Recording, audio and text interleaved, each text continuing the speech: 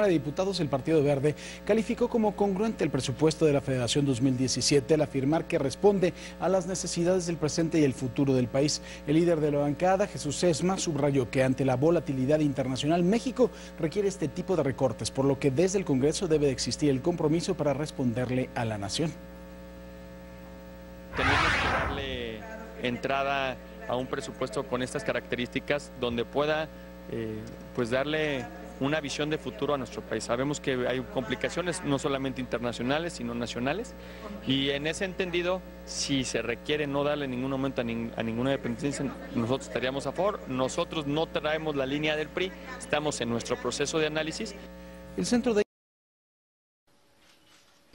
Te invitamos a seguir cuestionando la información con los siguientes videos.